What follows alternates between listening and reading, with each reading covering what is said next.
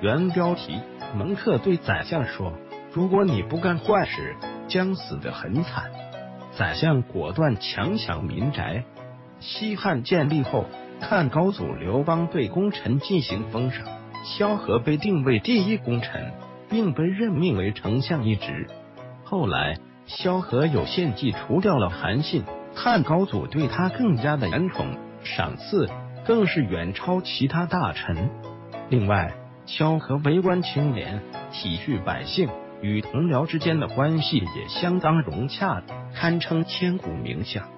有一天，汉高祖派了一名都尉率五百名兵士做相国的护卫，满朝文武前来道贺，萧何也非常高兴，并在府中摆酒席招待众同僚。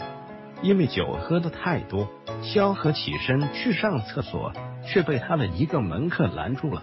并且对他说：“如此下去，相国命不久矣，将会成为第二个韩信。”本来半醒半醉的萧何听了门客的话，立马就被吓得相当清醒，并且虚心向门客请教缘由。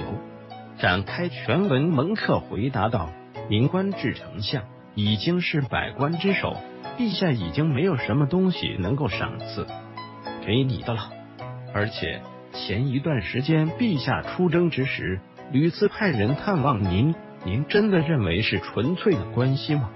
另外，您一直深受百姓爱戴，这对于猜忌心很重的陛下来说，这简直就是一种莫名的威胁。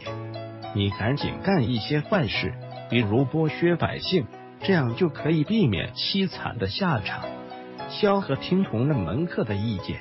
果断派人用低价强行购买民间的土地、房屋，这与强抢没有分别。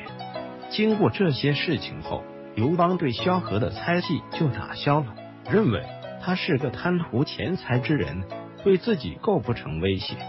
正是因为如此，萧何得以善终，结局也相当圆满。返回搜狐，查看更多责任编辑。